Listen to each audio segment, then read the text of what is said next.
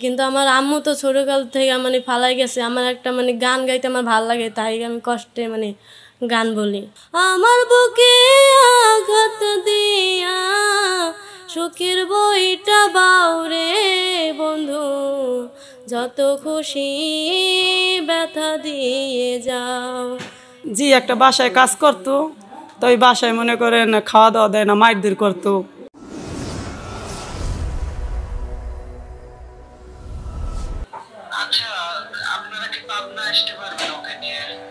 ভাই আমি যাইতে পারলাম না। আপনি যদি সময় সুযোগ করে যদি আসতেন তাহলে ভালো হইতো।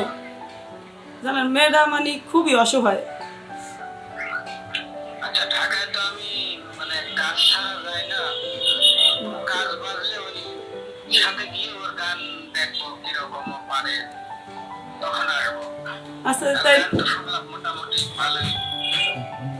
তাই দু একদিনের ভিতরে কি আসতে পারবেন? আসি আপনাকে ফোন দিয়ে আসব ঠিক আস আছে? জানেন ও অনেক কষ্টে আছে ঠিক আছে? যে ছোট সময় মনে করেন মা গেছে গা মা ফালাই রেখে গেছে তারপরে বাপে বাবা অনেক কষ্টে আর কি রিক্সা চালায় ঠিক আছে? অসুস্থ চালায়? হ্যাঁ। আর বাপ অসুস্থ আর কি বাচ্চার আছে তো আর বাবা মানে কাজ করলে ওষুধ কাজ করে ওষুধ খাইলে আর কি কাজ করতে পারে? আর না হইলে নাই এই অবস্থায় আচ্ছা তাহলে দেখব আমি আসলে আপনাকে ফোন দিব ঠিক আছে? আপনি তো অনেক মানুষেরই উপকার করেন অনেক মানুষের তো উপকার করেন একটু দেখেন না চেষ্টা করি যদি এই তো আবার চললে যাইব ঠিক আছে? দেশের বাড়ি বরিশাল।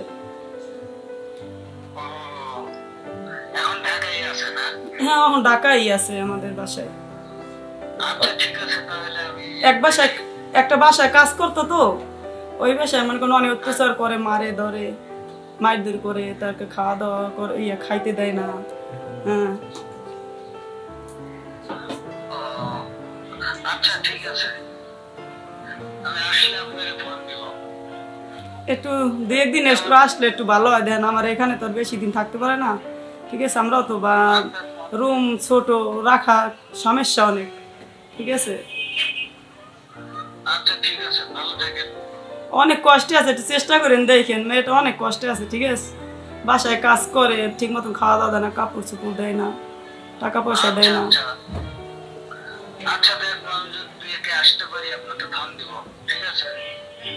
আচ্ছা ঠিক আছে? আচ্ছা তো একটু দেখেন প্লিজ এত তাড়াতাড়ি পারেন একটু আইসেন। আচ্ছা। ও তো গ্রামের বাড়ি থাকে আবার যাইবো আমাদের এখানে রাখতে সমস্যা অনেক ঠিক আছে? আমার রুম ছোট।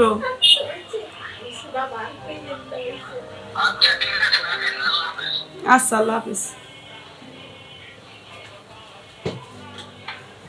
আচ্ছা তাইলে জাকি ভাই আসব দু দিনের ভিতরে।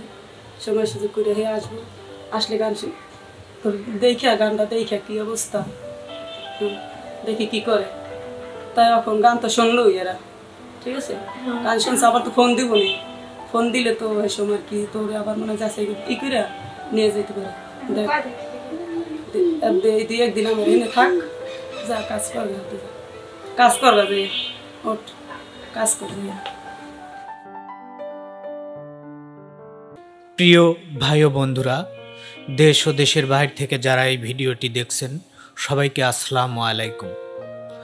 আজকে এসেছি আমরা ঢাকা কারমাঙ্গের চরে এখানে মিম নামে যে মেয়েটির গান শুনেছেন আপনারা, সেই মেয়ের গান নিতে আসছি বা মেয়ের সঙ্গে কিছু কথা বলব।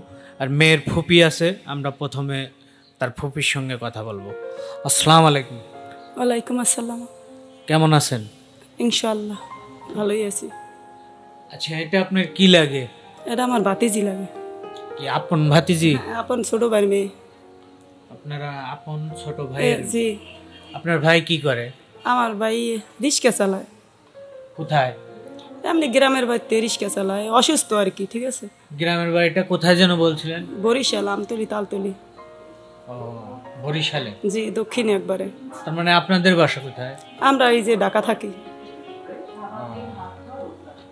আচ্ছা আর মেয়ে কি এখানে কিছু করতো নাকি? জি একটা বাসায় কাজ করতো তো ওই বাসায় মনে করেন খাওয়া দাওয়া দেয় না মাইরদের করতো ঠিক আছে? আর ওই বলে ওই মহিলা বলল যে আপনার বাতিজি গান করে কষ্টের গান করে কান্দে। তারপরে ওই আমার বাতিজি বলল যে ফুপু আমার খাইতে দেয় না তারপর সারা দিন চব্বিশ ঘণ্টা কাজ করে আর দুইটা ছেলে আছে। ছেলে দুইটাও মাইরদের করে অনেক। ও তাহলে তো খুব কষ্টে আছে আর ওর বাবা দেখে না ওকে?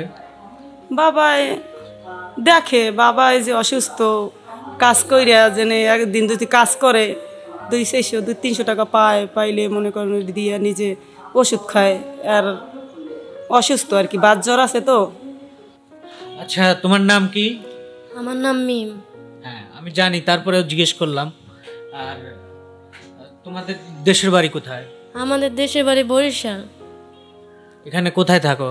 এখানে ফুবুর কাছে আইছি। আর এর আগে কোথায় ছিলে? এর আগে এক বাসায় কাজ করছিলাম অনেক অত্যাচার করছে। ঠিক মতন খাইতে দেয় নাই। তার ছেলে আছে দুইজন মানে জ্বালাইছে অনেক খুব। তো ঠিক মতন খাইতেও দেয় নাই খালি অত্যাচার করছে একটু কাজ না করলে জ্বালাইছে। আচ্ছা তুমি এমন তো না যে তুমি গান গাইছো জন্য তোমাকে মানে জ্বালাতনা করছে?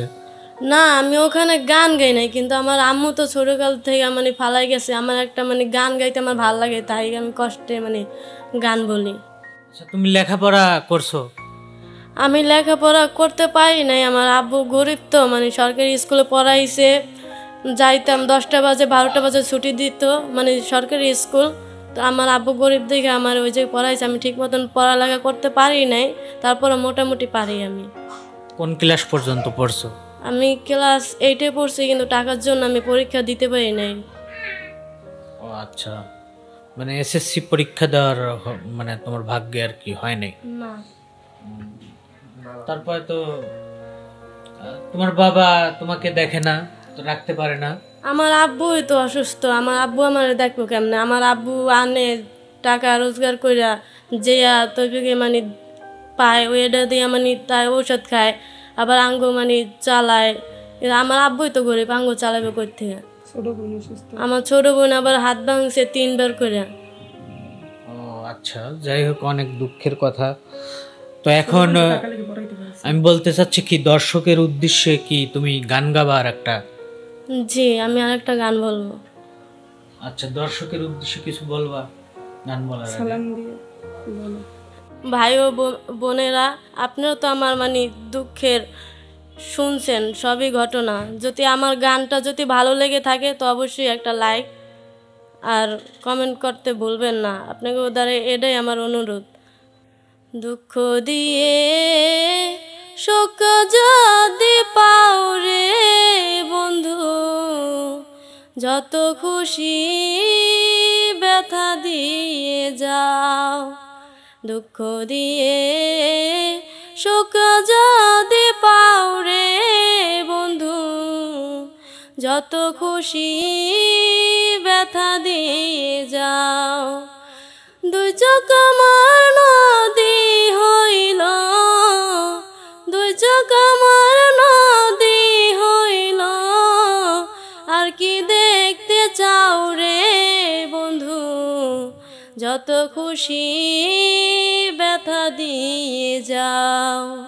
দুঃখ দিয়ে সুখ যদি পাও রে বন্ধু যত খুশি ব্যথা দিয়ে যাও, দুঃখ দিয়ে সুখ যদি পাও রে বন্ধু, যত খুশি ব্যথা দিয়ে যাও। ষোলো আনা মনস পেলাম আর কি পেতে চাও? ওরে বন্ধু, আর কি পেতে চাও? ষোলো আনা মনস পেলাম আর কি পেতে চাও? ওরে বন্ধু, আর কি পেতে চাও? আমার বুকে আঘাত দিয়া, আমার বুকে আঘাত দিয়া, সুখের বইটা বাউরে যত খুশি ব্যথা দিয়ে যাও, দুঃখ দিয়ে সুখ যদি পাও রে বন্ধু, যত খুশি ব্যথা দিয়ে যাও, দুঃখ দিয়ে সুখ যদি পাও রে বন্ধু, যত খুশি ব্যথা দিয়ে যাও আমার আশায় বাসা সাজায় কারে বুকে লাও। ওরে বন্ধু, কারে বুকে লাও। আমার আশায় বাসা সাজায় কারে বুকে লাও। ওরে বন্ধু, কারে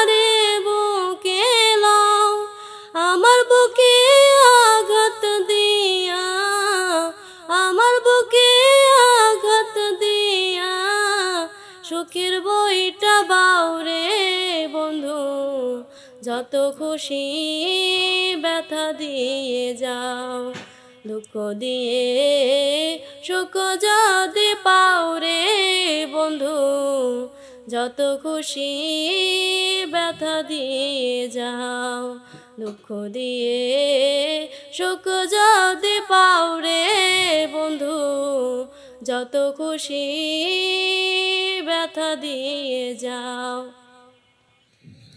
ধন্যবাদ মিমকে গানটি উপহার দেওয়ার জন্য। আর যদি ভালো লেগে থাকে, আপনারা অবশ্যই লাইক, কমেন্ট, শেয়ার করবেন। ধন্যবাদ।